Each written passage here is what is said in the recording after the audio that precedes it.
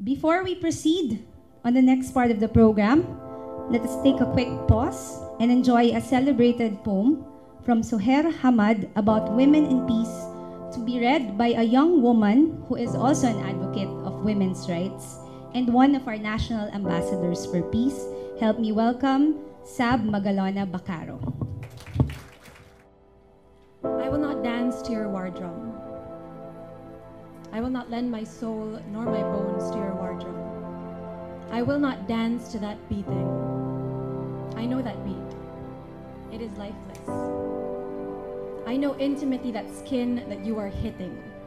It was alive once. Hunted, stolen, stretched. I will not dance to your drummed up war. I will not pop, spin, break for you. I will not hate for you or even hate you. I will not kill for you. Especially, I will not die for you. I will not mourn the dead with murder nor suicide. I will not side with you or dance to bombs because everyone is dancing. Everyone can be wrong. Life is a right, not collateral, not casual. I will not forget where I come from. I will craft my own drum, gather my beloved near. Our chanting drumming.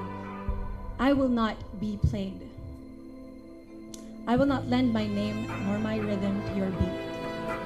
I will dance and resist and dance and persist and dance. This heartbeat is louder than death. Your war drum ain't louder than this breath. Thank you.